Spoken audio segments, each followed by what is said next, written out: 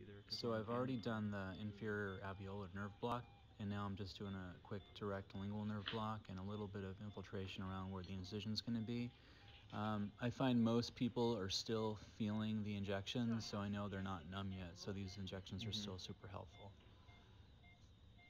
Just a quick distoangular incision and just kind of going to the mid buccal of the adjacent tooth, and just using my Woodson to make that little flap Mhm. there, Yeah. just wide enough to see some bone, so I can it's easier for me. place the Minnesota directly on the bone. And once it's on the bone, I try not to move it much at all. Um, that minimizes any sort of it was this year. flap trauma, post-op swelling, that sort of stuff is, is always less.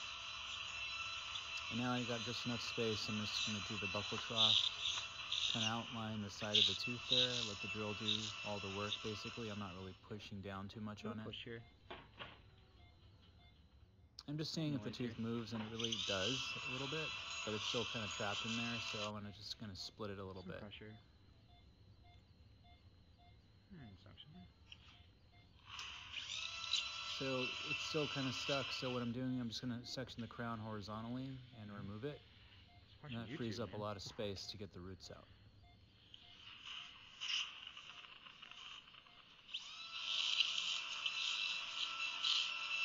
There we go. Just gonna finish that cut and then much did we use? snap it. We use six. We don't have. and take the horizontal crown out. And then I can just use pretty much any instrument and get those roots out. The tooth was moving when I elevated it a little bit, so I know it, it will move pretty easily. Got lucky, both roots came out at once, so that's great. And irrigate really I'm just using a little fluorochromic for closure here. Some people close survey a little pretty bit. tightly and they just suture everything until it's completely closed.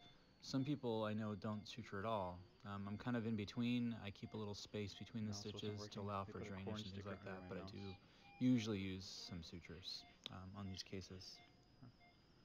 I can't compete with them. They have, more time to figure out I was stuff. gonna say, yeah, I didn't have title time. Yeah.